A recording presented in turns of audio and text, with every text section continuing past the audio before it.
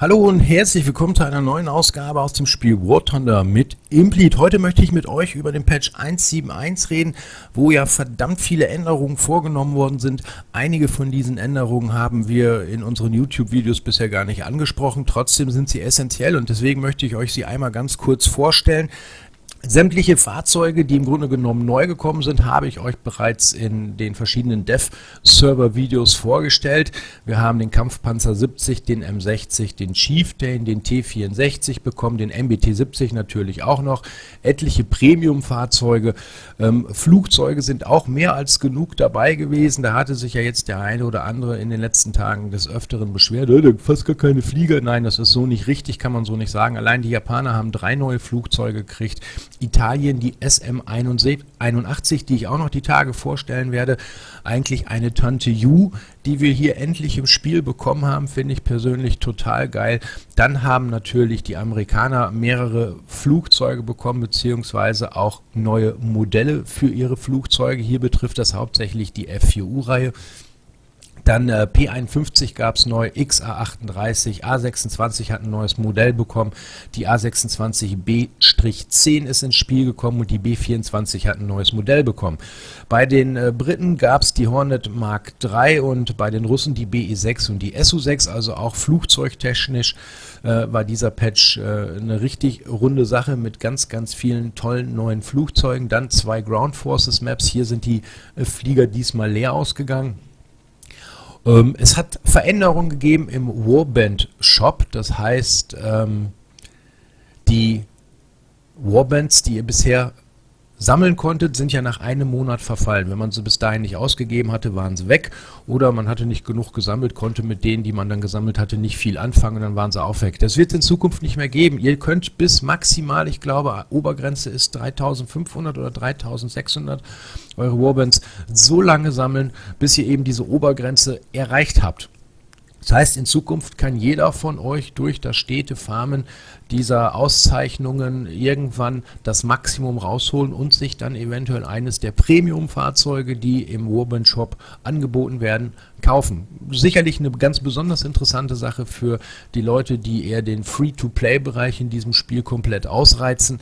Ihr könnt euch also einfach nur dadurch, dass ihr diese täglichen Schlachtaufgaben erledigt, in Zukunft ohne zeitliches Limit die nötigen Schlachtaufgabenpunkte zusammenfarmen und dementsprechend diese dann irgendwann im Shop ausgeben. Ich denke, das ist tatsächlich eine Neuerung äh, zugunsten all derer, die äh, vielleicht nicht unbedingt Geld in dieses Spiel investieren können oder möchten. Ihr habt jetzt auch die Möglichkeit, selbst wenn ihr ganz, ganz wenig spielt, über einen längeren Zeitraum hinweg euch diese Dinge zu sammeln und euch dann dementsprechend im Shop das zu kaufen, worauf ihr Lust habt. Ähm, die PO2, ein russisches Flugzeug, ein Doppeldecker, soweit ich weiß, ich habe es jetzt gerade nicht im Kopf, hat ein neues Cockpit bekommen. Das ist ansonsten erstmal nicht spektakulär. Spektakulär an der ganzen Sache ist, dass das wieder von einem User erstellt worden ist. Der hat durch das Revenue Share Programm von Gaijin dafür dann auch Geld bekommen, also eine Belohnung. Wer sich für diese Thematik interessiert, Gaijin macht das ja mittlerweile in regelmäßigen Abständen von Spielern erstellte Dinge ins Spiel zu integrieren und die dafür zu bezahlen, sollte sich einfach mal auf der Was an der Hauptseite ähm, die ganze Sache angucken. Äh, da kann man durchaus eine ganze Menge Geld für bekommen, wenn man das vernünftig macht und äh, eine tolle Idee hat. Also äh, da lohnt es sich tatsächlich, wenn man interess interessiert ist für, für diese Thematik und wenn man da auch so ein bisschen Hand, ein Händchen für hat, wenn man sich da einarbeitet. Ähm, dieses neue Cockpit in der PO2 wurde übrigens von jemandem erstellt, der vorher überhaupt noch keine Fähigkeiten gesammelt hatte, was äh, diese 3D-Programme angeht. Der hat sich da also tatsächlich reingearbeitet und hat dann dieses Cockpit erstellt. Ähm, das heißt also, an diesem Cockpit kann man quasi sehen, selbst ein Anfänger, der bisher noch nie sowas gemacht hat, hat durchaus die Chance, irgendwann etwas auf die Beine zu stellen, das im Spiel tatsächlich dann auch übernommen wird und bekommt dann dafür ja nicht unbedingt äh, wenig Taler, muss man mal ganz ehrlich so sagen. Ähm, für die Spieler der Kampfgruppengefechte gab es auch eine wichtige Änderung und zwar ähm, braucht ihr jetzt nicht zwei Vierergruppen erstellen, um dann in die Kampfgruppengefechte zu gehen, sondern einer kann eine Achtergruppe erstellen und mit der kann man dann quasi als ganze Gruppe in die Kampfgruppengefechte einsteigen. Auch eine Änderung, die für viele sicherlich interessant ist, einfach weil es die ganze Sache bequemer macht. Dann haben viele von euch sicherlich festgestellt, dass das Menü abgeändert worden ist im Spiel. Ähm, viele sagen jetzt, oh, es ist alles groß, ihr braucht euch da keine Sorgen machen, wenn ihr in die Einstellung geht und ähm, einmal ganz genau guckt, da gibt es jetzt einen Schiebregler, damit kann man die Größe der ganzen Anzeigen in unserer Garage quasi verändern und äh, ihr könnt das komplett runterregeln und wenn ihr es komplett ganz runter regelt, dann sieht es aus wie in meiner Garage, dann ist auf einmal sogar mehr Platz da als vorher. Das heißt also, ihr müsst jetzt nicht mit diesen riesengroßen Anzeigen leben, die sich da auf einmal auf eurem Monitor darstellen. Ich spreche diesen Text jetzt hier gerade auf, ohne dass ich das Spiel offen habe. Wenn ich nachher die Bilder dazu schneide, werde ich versuchen, für euch noch eben den Menüpunkt rauszusuchen, wo ihr das dann finden könnt und dann schneide ich das mit rein. Ähm, es gab neue Missionen auf bereits bestehenden Karten. Ich glaube, das wird der eine oder andere auch mitbekommen haben. Es gibt zwei neue Karten, eben Fulda Gap und Emperor's Garden, also der kaiserliche Garten. Und ähm, es gibt jetzt insgesamt auf sechs Karten diese Anti-Spawn-Camper-Mechanik, will ich sie noch ganz vorsichtig nennen. Ähm, einmal auf den vier bereits vorgestellten Karten Polen, Köln, Tunesien, Finnland, Osteuropa, Fulda und Japan sind jetzt im Grunde genommen davon betroffen. Wir kommen also auf insgesamt sechs Karten, die diese Funktion bereits haben. Wir haben jetzt in den ersten Tagen, seitdem es den Patch gibt, ersten Tagen, seit 24 Stunden gibt es den gerade mal, aber auch festgestellt, dass auf der einen oder anderen Karte das noch nicht so ganz wunderbar funktioniert, dass also tatsächlich immer noch äh, mit aller Gewalt in den Spawn hineingeschossen werden kann. Deswegen macht euch bitte keinen Kopf. Erstmal wichtig ist, man kann im Spawn stehen und wird nicht mehr von hinten beschossen. Man kriegt also keinen Treffer mehr in den Rücken und ich glaube, das war das, was die meisten aufgeregt hat. Das ist mit dieser neuen Mechanik absolut nicht mehr möglich. Dass man von vorne beschossen wird, während man spawnt, ist nach wie vor möglich. Ob das nochmal irgendwo angepasst wird, warten wir einfach mal ab. Ich denke, Gaijin wird jetzt erstmal die Daten aus diesen Karten nach und nach sammeln und dann auswerten. Vielleicht werden da nochmal Anpassungen vorgenommen. Ich wäre da jetzt an eurer Stelle noch nicht, wer weiß, wie enttäuscht oder sonst was. Für mich persönlich der wichtigste Punkt war definitiv der, dass ähm, das in den Rücken schießen einfach nicht mehr möglich war, weil da hatte man keine Chance. Und äh, jetzt, wenn derjenige vor mir steht, habe ich zumindest die Chance, ihn zu erkennen und ihn dann selbst zu beschießen, zumal ich immer noch diesen Spawn Protect Schutz habe, diese paar Sekunden, wo ich unverwundbar bin. Ähm, vielleicht ist es dem einen oder anderen, der jetzt, äh, ähm, der jetzt gestern gespielt hat, aufgefallen, es sind nicht mehr ganz so viele Flugzeuge in der Luft. Das liegt einfach daran, dass Flugzeuge bei Weitem nicht mehr so effektiv sind. Wir haben bisher ja öfters Probleme gehabt mit eher den Flugzeugen, die Raketen verschossen haben. Äh, wird sich der eine oder andere sicherlich äh, daran erinnern. Die äh, Wirkweise der Raketen ist ganz extremst angepasst worden und aktuell ist der Stand der, dass mit den meisten Raketen so ein Panzer einfach nicht mehr kaputt zu kriegen ist. Das haben die Freunde der fliegenden äh, Geschichte, glaube ich, auch relativ schnell äh, festgestellt und dementsprechend weniger Flugzeuge waren A, entweder in der Luft oder B, wenn sie da gewesen sind, haben sie reichlich wenig Schaden angerichtet, was ich persönlich natürlich auch wieder gut finde, weil wir jetzt am Boden tatsächlich wieder ähm, Panzer gegen Panzergefechte haben. Also auch hier ganz klar eine Veränderung zugunsten der Ground Forces, also der tatsächlichen Spieler, die mit ihren Panzern andere Panzer erledigen möchten. Finde ich eine tolle Sache. Ich kann nur hoffen, dass das auch so aufrecht gehalten wird, dass äh, Gaijin da nicht wieder einknickt und es dann doch wieder ändert, weil im Moment fühlt sich das für mich als eigentlich Panzerfahrer im Spiel richtig rund und gesund an. Ähm, ja, wie gesagt, es sind verschiedene Fahrzeuge ins Spiel implementiert worden. Das werden viele von euch äh, mitbekommen haben. Es gibt jetzt ein paar Fahrzeuge, die können tatsächlich auch über den Motor ähm, eine Rauchwand erzeugen. Auch das wirklich interessant. Wer dann mal so ein bisschen auf Details achtet, wenn man mit einem MG von einem Panzer in den Boden schießt, der Sand, der spritzt jetzt nach oben. Man kann also tatsächlich sogar so, ein, so einen Sandvorhang vor seinem Fahrzeug erzeugen. Sieht, sieht wirklich gut aus und ähm, ja, hat auch wieder so ein bisschen Einfluss aufs Spiel.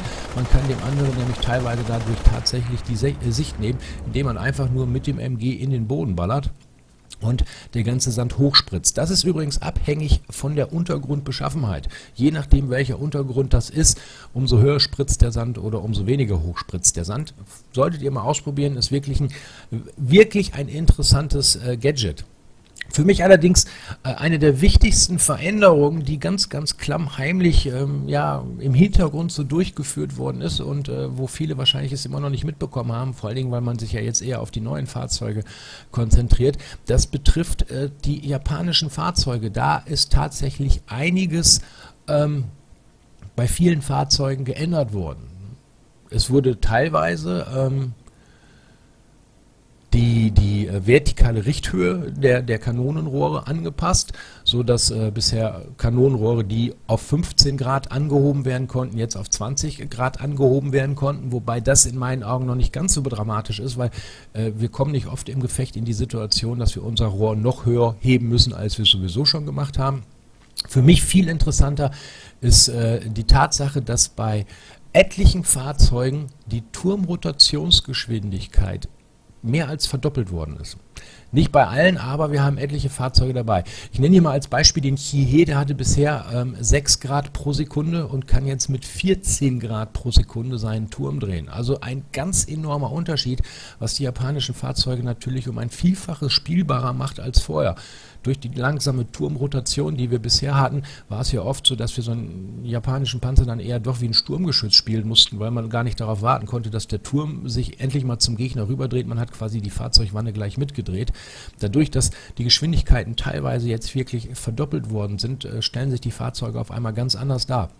Bei dem Hago zum Beispiel von 14 auf 15,7 Grad pro Sekunde, das ist jetzt nicht, wer weiß wie viel. Beim Igo Co ist von 6 Grad auf 15,2 Grad hochgegangen. Beim Keni von 6 auf 17 Grad. Vom Kami von 6 auf 12 Grad. Beim Hiha von 6 auf 15 Grad. Beim Hi Hakai von 6 auf 15 Grad. Beim Hui von 6 auf 14 Grad. Beim Honi wurde äh, was verändert. Und so zieht sich das wie so ein roter Faden ähm, durch die japanischen Panzer. Also ganz, ganz viele massive Veränderungen, die die Fahrzeuge letztendlich unterm Strich ganz anders darstellen. Das heißt also, vom, vom Spielerischen her sind diese Fahrzeuge jetzt um ein Vielfaches besser geworden, einfach weil ihr viel intensiver, viel besser mit dem Turm arbeiten könnt.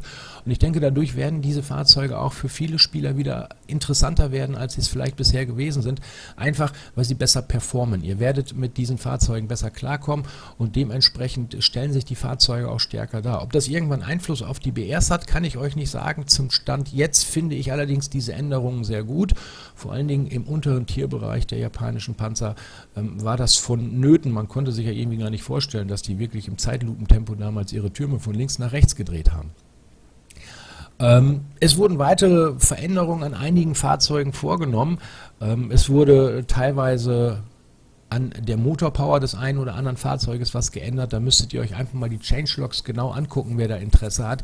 Beim Tiger 2 hat man äh, gelesen, der ist gebufft worden. Ja, ob er jetzt gebufft worden ist, ich will es mal ganz vorsichtig so sagen. Die Frontpanzerung, die er am Turm hat, ist nach wie vor dieselbe geblieben. Ich meine, wir haben da 180 Millimeter. Und das Fahrzeug hat immer noch 180 mm. Allerdings handelt es sich dabei um eine bestimmte Stahlsorte und Gaijin hat jetzt gesagt, das berücksichtigen wir jetzt, wo wir auch unterschiedliche Stahlsorten tatsächlich im Spiel unterschiedlich behandeln können. Das heißt, ähm, ihr haltet jetzt ein bisschen mehr aus. Die Zahlen, die dahinter stecken, kann ich euch im Moment noch nicht nennen. Diese 180 mm sollen allerdings ein bisschen mehr Widerstand haben. Das heißt also, ich sage mal ganz vorsichtig, ohne dass ihr mich auf diese Zahlen festnagelt. Wenn jetzt jemand euch an den Turm vorne ballert, der 190 mm Pen hat, kommt eventuell nicht durch, weil die 180 mm Frontpanzerung, die ihr habt, einfach einen größeren Widerstand haben und dementsprechend dieses Geschoss dann eben doch nicht durchkommt. Hier sehe ich allerdings mittlerweile durch diese Einführung der unterschiedlichen Materialien auch ein klitzekleines Problem, das sich vielleicht irgendwann im Spiel bemerkbar macht, denn wir reden hier immer von Panzerungsstärke, von effektiver Panzerung und von Penetration. Wenn ich ein Fahrzeug habe, bei dem steht, ich habe 180 mm Panzerung und ich habe ein Fahrzeug, das mit einer Penetrationsleistung von 190 mm auf diese Panzerung schießt und ich komme nicht durch, sage ich als Spieler, das ist ein Bug, da ist ein Fehler, denn ich hätte durchkommen müssen.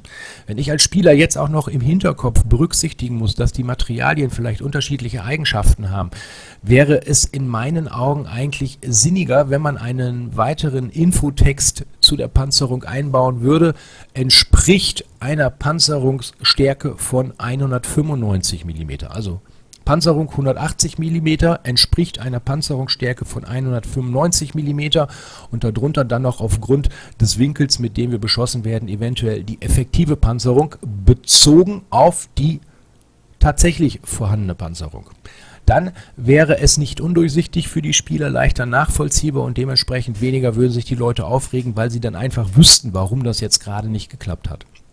Vielleicht wird das noch irgendwann nachgebessert. Ähnliche Problematik finden wir ja im Moment im Spiel bei den Modulen, äh, die die Zusatzpanzerung quasi darstellt. Wenn ihr euch die Fahrzeuge anguckt, die neu gekommen sind, die haben im Turm alle diese Schottpanzerung, diese Mehrschichtpanzerung und die wird als Modul dargestellt. Nein, ihr könnt hier nicht ein Modul zerstören und dann ist die weg. Sie wird einfach nur als Modul dargestellt und äh, da stehen dann die Panzerungswerte. Wir haben einen Widerstand gegen kinetische Energie von 320 mm, wir haben einen Widerstand gegen chemische Energie von 280 mm. Ähm, Effektiv wird hier aber nichts berücksichtigt und das ist eigentlich schade, denn auch hier ist nach wie vor der Gedankengang und so sind die Leute ja mittlerweile auch im Spiel trainiert worden, wenn ich aus dem oder dem Winkel treffe, dann habe ich die und die effektive Panzerung zu durchdringen. Selbst bei diesen Mehrschichtpanzerungen gibt es auch einen effektiven Wert. Der wird uns leider Gottes im Moment nur nicht angezeigt. Da bleibt auch zu hoffen, dass Gaijin sich da irgendwann eine Lösung einfallen lässt, damit das wieder transparenter ist und für die Leute dann auch nachvollziehbar ist, warum ich jetzt gerade nicht getroffen habe, weil eben die effektive Panzerung im Grunde genommen zwar berücksichtigt worden ist von der Spielmechanik her, sie wird mir nur als Spieler nicht angezeigt und deswegen bam, bam, bam, wieder drei Fragezeichen im Kopf.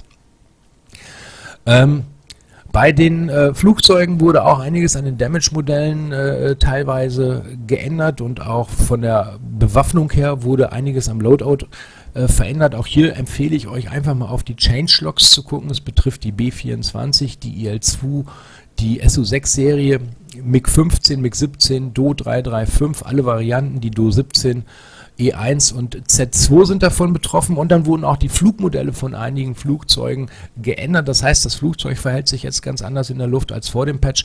Betroffen davon P40E, MiG-3, die FU, äh, F4U-Varianten, Corsair und sowas, die IL-10, die äh, BTD, die AD2, die G8N1, die XB50, P47, Jak 1, 3, BF109, FG und K, die G14, den Bowfighter, die IL-2, die U87 und äh, die MC202 in all ihren verschiedenen ähm, Ausführungen. Also ganz, ganz viele Änderungen bei den Flugzeugen. Da ist richtig viel geschraubt und gedreht worden. Einige Flugzeuge fühlen sich jetzt tatsächlich nicht mehr so an wie vor dem Patch. Bevor da das böse Erwachen kommt, guckt nochmal auf die Changelog-Änderungen. Ich werde euch das hier ähm, als Link auch unter das Video reinpacken, damit ihr euch das in Ruhe durchlesen könnt. Grafik haben wir eben teilweise schon drüber gesprochen, diese MG-Spritzer im Boden, die jetzt ganz anders dargestellt werden. Ähm, Smokescreen wurde auch nochmal ein bisschen überarbeitet, das heißt also, es sieht nicht mehr ganz so aus mit dem Smoke wie vor dem Patch.